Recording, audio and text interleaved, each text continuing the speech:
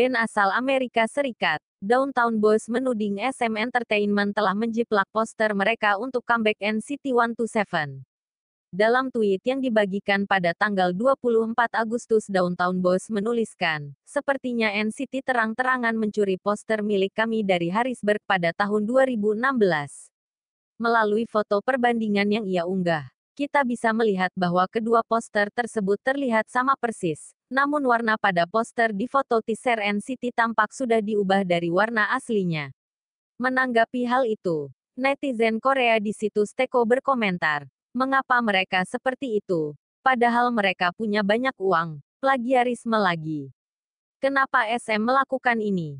Apakah mereka tidak bisa melakukan hal lain selain plagiarisme? Tidak bisakah mereka meminta izin sebelum menggunakan posternya? Atau mungkin berkolaborasi? Dan masih banyak lagi komentar kritikan lainnya.